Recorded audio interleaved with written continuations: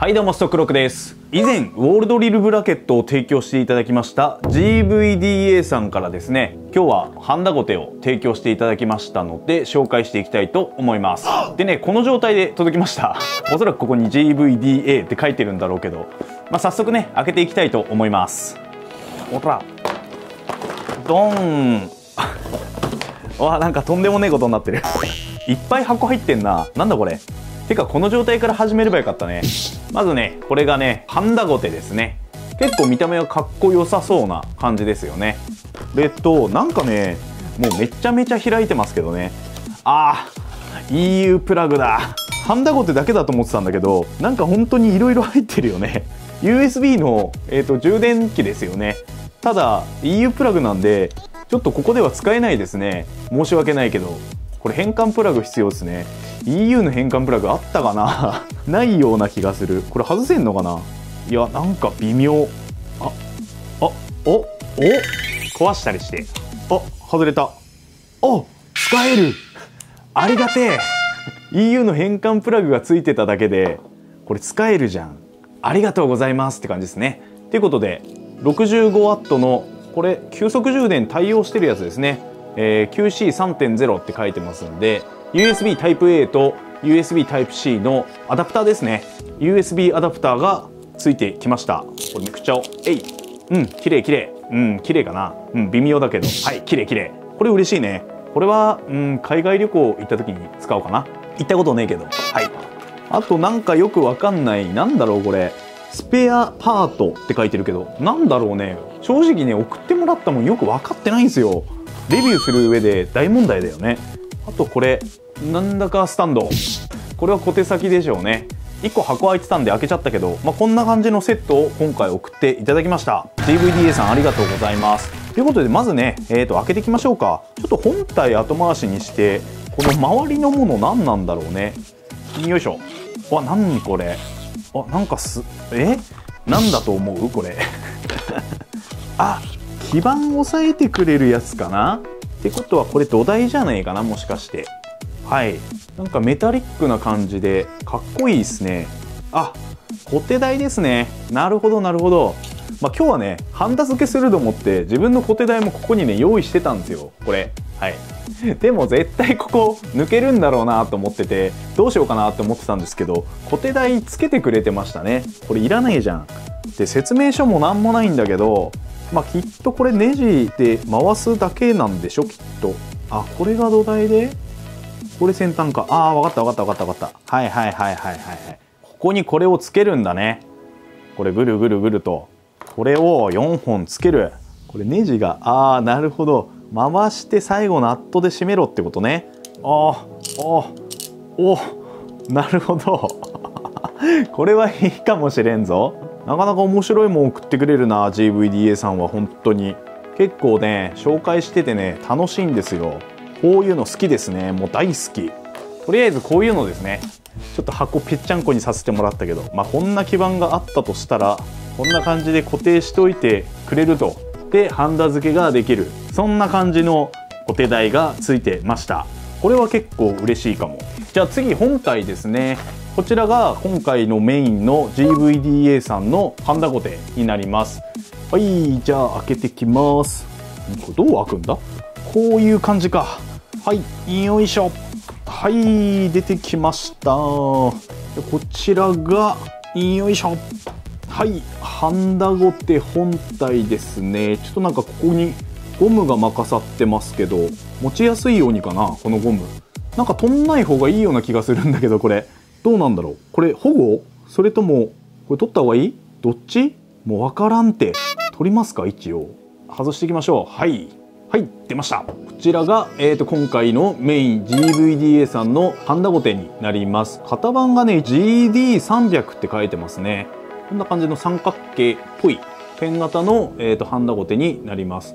最初このねホットナイフナイフの小手先がついてます。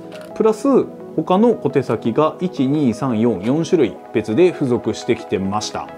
今説明書と本体あったけどこれケーブル入ってんのかな？あなんか入ってそうな気がする。はあ。よいしょ。おーなんか出てえ？ー、ん？これさっき見たな。これさっき見たよね。小手台でねこれ。あ違う。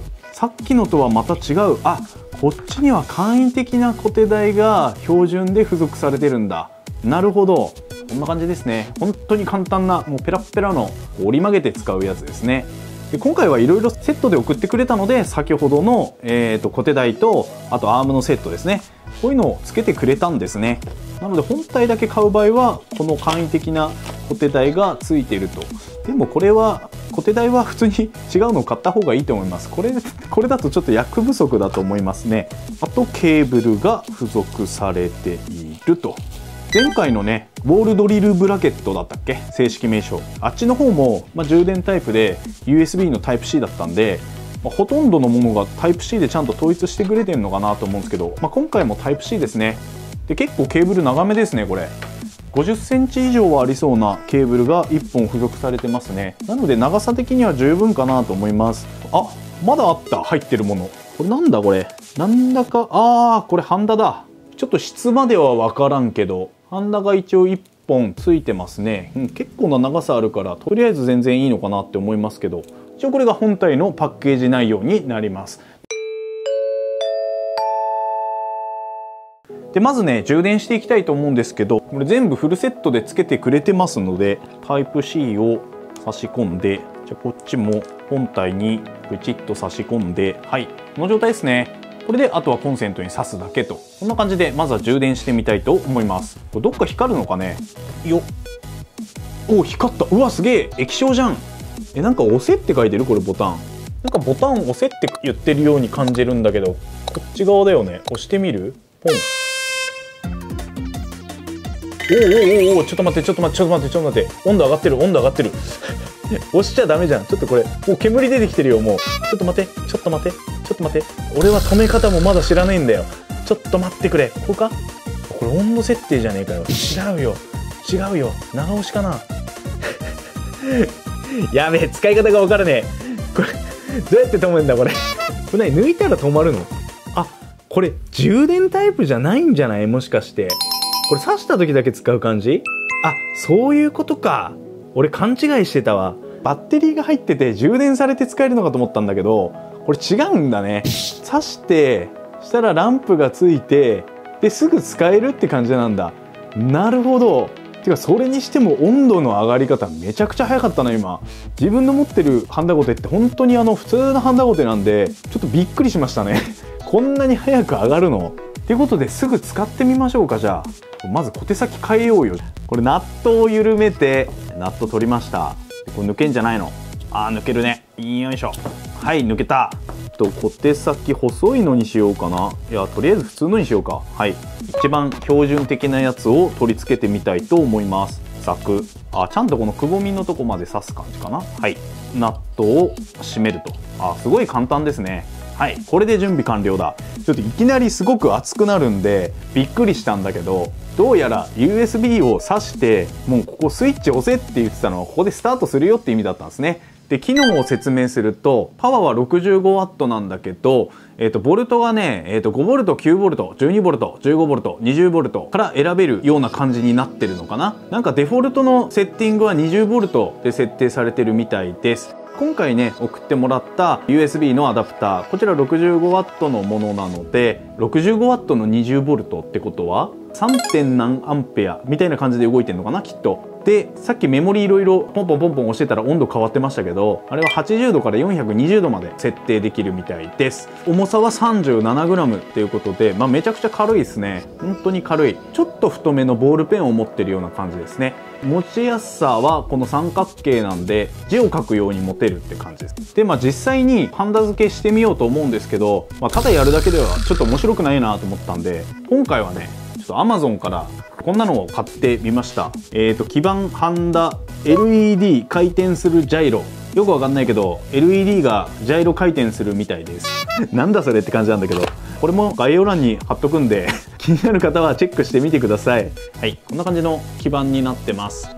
まあ、ここに自分で LED なりなんなり取り付けて実際に動かすみたいな。ということで今回はこれにハンダ付けをして LED 回転するジャイロ。こちらをね完成させてみたいと思います。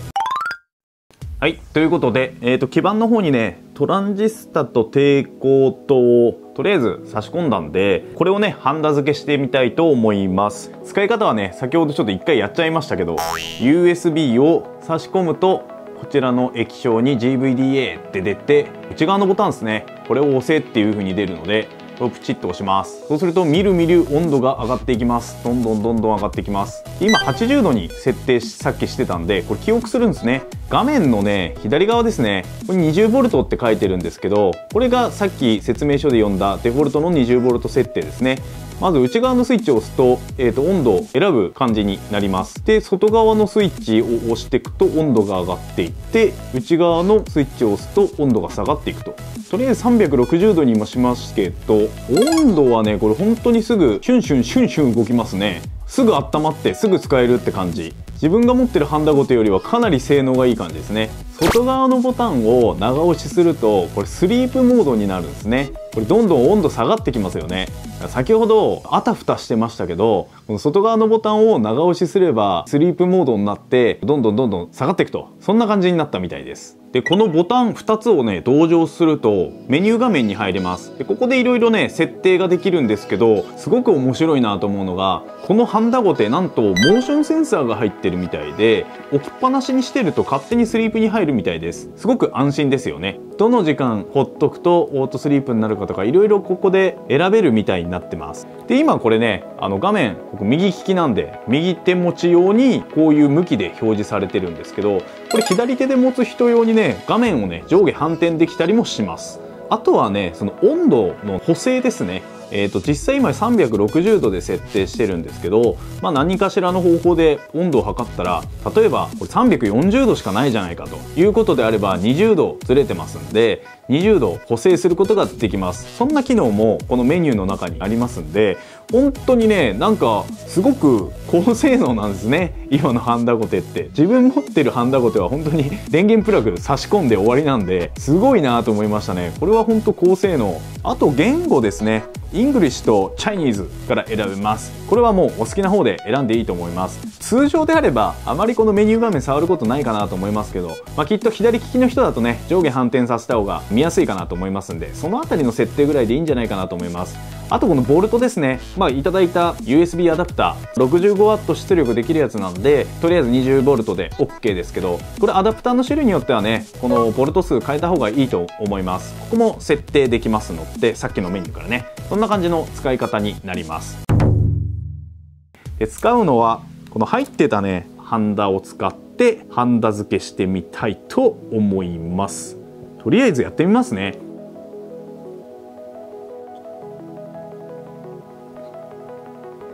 あーでもなんかね操作性はいいかも。